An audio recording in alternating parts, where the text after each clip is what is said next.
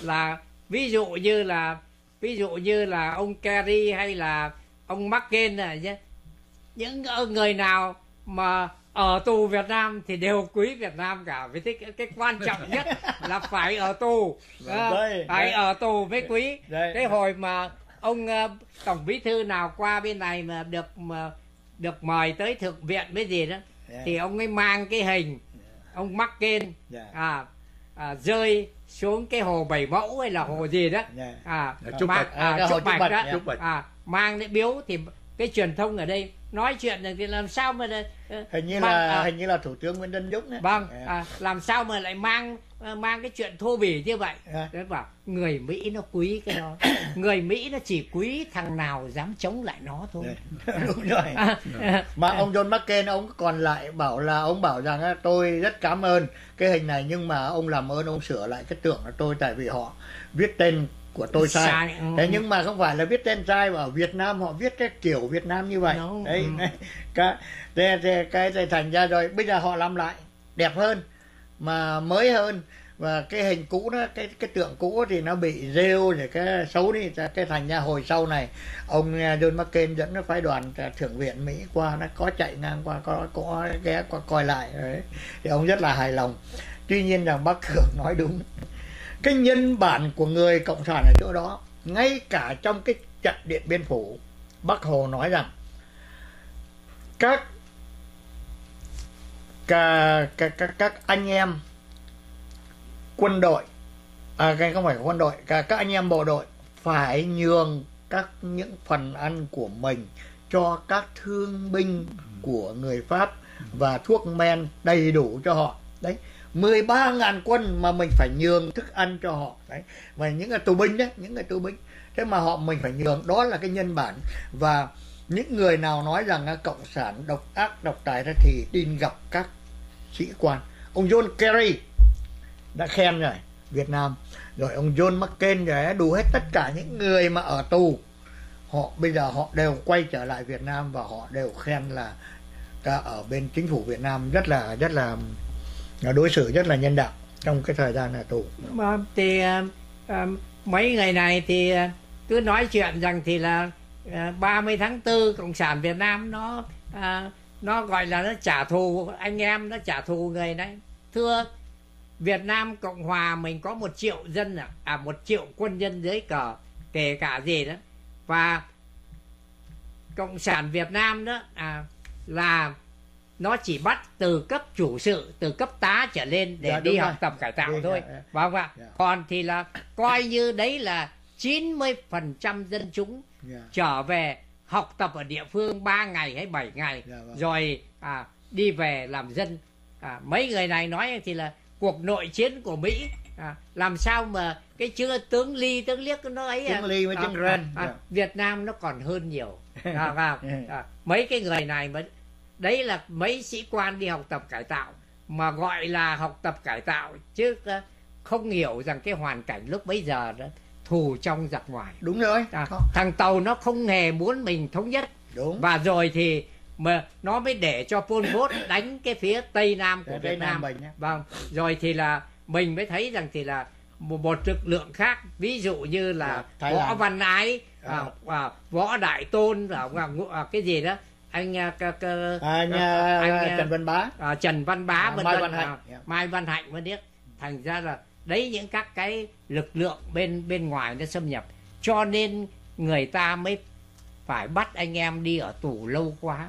Mà cái dưới danh nghĩa là cái chính quyền mà trong lúc chung quanh nó phá thế bây giờ nếu để anh em về mà anh em đều là những người thiện chiến đều là có à, đều là có thân nhân ở tất cả yeah. Dạ. thì chúng tôi làm sao một cai trị nổi đúng rồi chúng tôi làm sao cái vấn đề là nổi. vấn đề an ninh thôi à. cái vấn đề họ bắt buộc cái, cái chuyện mình không trách được cái chuyện mà trong tù học tập cải tạo thì mấy anh em của tôi uh, ông ở trong đó ông ấy nói rằng thì là ở trong tù cải tạo đó là những quản giáo nó nhìn thấy mình ăn uống nó còn thèm yeah. Dạ. không ạ à, các cái đồ tiếp tế của mình nó thèm các bác sĩ của mình mà đi học tập cải tạo đó thì là vợ con của cái thằng quản giáo đó là nhờ mấy bác sĩ coi mạch dùm à, tới chăm sóc sức khỏe dùm. Dạ, tức là người người ta hòa hợp người ta hòa đồng với nhau hoàn toàn không có ai thù cả. Chỉ có cái th- cái bọn vớ va vớ vẩn ở đây mà nó mới nói nhất là nó mới nói về thương binh Việt Nam Cộng Hòa.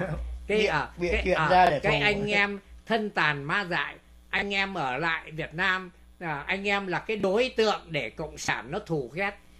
À, cái bọn này nó bịa ra mà nó nó nó cái con Ngọc Ân ở cái đài đó gớm nó bị xuống giọng nó xuống xề. À, nó lại xuống xề nó nó cái em nó bị à, coi như rằng thì là nghĩa là trời ơi ờ, cái cái, cái người thương binh này chứ bây giờ làm sao ở trong lúc ấy bây giờ nó là cả một cái đối tượng để cho cộng sản à, thù ghét không ạ? Mà người ta mấy chục năm rồi người ta tự ổn định cuộc sống. Và người ta ở lại với đồng bào ở lại với gia đình của họ. Ừ. không ạ? Ở lại với gia đình của họ. Nhờ lối xóm nhờ bà con à, dung dưỡng mà người ta sống được tới bây giờ. Chứ không chờ cái đài Little Sài Gòn mấy thằng Nguyễn Hữu Công Nghĩa Kiết à, mấy ông cha dòng cứu thế mà quyên tiền về người ta chết gần hết rồi không ạ.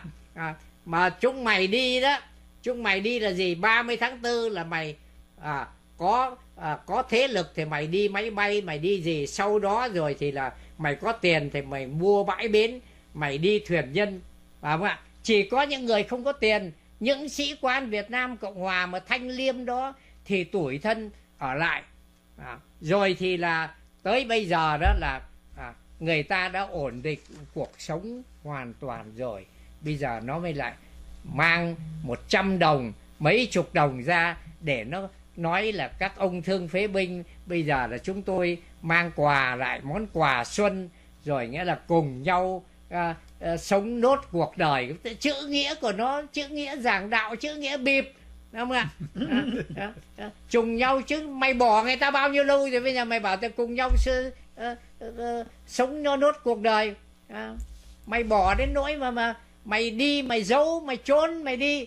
À, mày có cho ai đi đâu. Ngay cả cái đài uh, pháp á ngay cả cái số 7 uh, gì đó à, ngay cả cái đài mẹ việt nam đó số 7 đó à, người mỹ nó cũng phải rằng thì là nó à, nó nó nó nó nó nó không báo trước. À, nó đón cả cái đài mẹ việt nam ra phú quốc chờ. À, không ạ? Rồi À. ra phú quốc chờ để cho à, chứ phải nó nó không bảo là đi à, Dạ, à, ạ. à Quốc nó à, mà nó không bảo là chờ à, nghĩa là gọi là tạm di tản. À, gọi là tạm di tản. Thành ra mấy người này mới nghĩ rằng thì là có thể à, ở bên trong để mà nó chờ cái nó chờ cái điều đình gì đó. Vâng. chứ còn nếu mà định mà đi ngay đó thì mấy người này đó đã đi thôi. à, mang bà con lối xóm mới lại mang gì đó. Có rất nhiều người mà có tư cách đó bỏ không đi. À. Anh à, Nguyễn Văn Dũng nói rằng bác Cường ơi sau năm 75 thương binh Việt Nam Cộng Hòa toàn là dân chích chỉ ke không? Tôi à, yêu cầu anh rút cái câu đó Anh không thể nói như vậy được. Anh Dạ. không nên nói như vậy và không thể nói như vậy. Đấy không thể nào khẳng định được. Chưa có ai có một cái thống kê nào toàn là dân thương binh Việt Nam Cộng Hòa toàn là dân trì ke được. Nếu không chúng tôi bắt buộc phải loại anh ra khỏi cái diễn đàn của KBC Hải Ngoại. À, công đạt à, à, họ có buồn tuổi nhưng mà có một số à, nào có vâng à, có, một à, nhưng mà nó không phải rằng thì là ờ, tôi sau năm 75 thì vừa- không biết là chuyến vừa rồi tôi có nói chuyện không thì là tôi thấy rằng thì là những anh thương phế binh Việt Nam Cộng Hòa đó lên các chuyến xe buýt hát các bài à, quân hành biết các bài gì đó nghĩa là có bao nhiêu không? người bao nhiêu người đưa tiền bao nhiêu người à, với ra để mà đưa tiền rồi thì còn à, tôi ở cái à, khu Tân Bình đó gần chợ ông Tạ đó cái gì đó à, gần chợ đó thì, thì là cái chợ Tân Bình đó mà chợ chợ chợ ờ, à, thì anh em thương phế binh là ở ngay đằng sau ở đằng ngay cái đằng sau cái chợ đó. Ừ. anh em là buổi tối là anh em cũng tổ chức văn nghệ rồi cũng uống ờ, rượu vui vẻ lắm. Và anh em làm ngay cái cái nhiệm vụ là anh em trông tất cả những đồ đạc cho bà con ở chợ. Đúng rồi. À, Tân Bình đó. À, anh em làm rất được việc và mấy bà con đó rất quý à, à, chú coi giùm tôi nhé các anh coi giùm tôi nhé. Thành ra ở trong nước người ta đùm bọc lấy nhau dạ vâng. chứ có ai mà anh em à, thương phế binh ở làng thương phế binh có trước 30 tháng 4 75 là ở làng thương phế binh thủ đức. Bây giờ họ rất là thành công và cái là họ cái vẫn cái nhà nước Việt Nam đâu có tịch thu gì đâu và họ vẫn làm chủ những cái căn nhà của họ ở đó và họ phát triển và anh em vẫn họp hành với nhau vẫn tập trung với nhau. Và anh em còn nói rằng chưa bao giờ lãnh một đồng bạc nào của bà hạnh nhân hết tôi đã gặp anh em ở, ở Việt Nam rồi. Thành ra anh Dũng nói rằng là bị à, chị ke trong nhà hoại à, thổ nên bị cắt chân tay chân đó.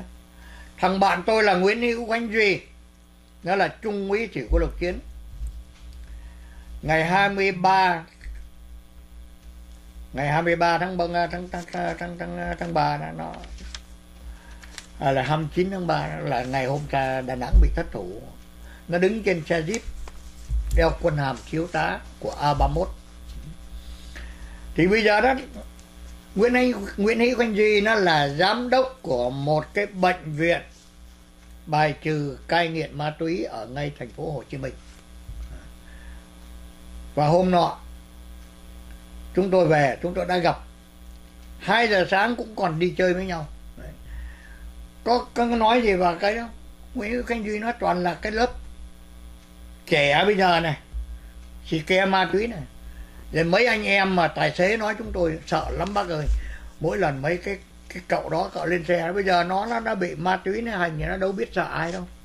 Nó lên xong nó ngồi trên xe, nó lỡ rồi thì thôi đành chạy chạy nó đi rồi chở nó đi, chở đi xong xuống không dám lấy tiền nữa.